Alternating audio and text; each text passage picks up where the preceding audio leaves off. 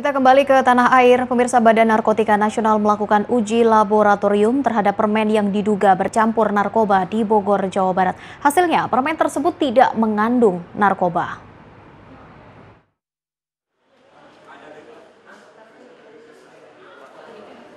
Badan Narkotika Nasional atau BNN memastikan peredaran permen yang awalnya diduga mengandung narkoba di Bogor, Jawa Barat tidak mengandung narkoba. Hasil ini ditemukan setelah BNN melakukan serangkaian uji laboratorium. Permen ini hanya mengandung bahan pewarna yang berbahaya. Lab belum keluar, kemarin sore hasilnya negatif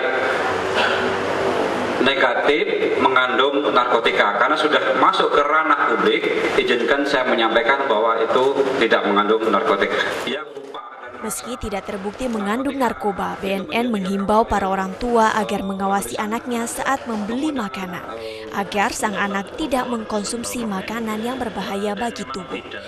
Dari Jakarta, Rio Manik memberitakan.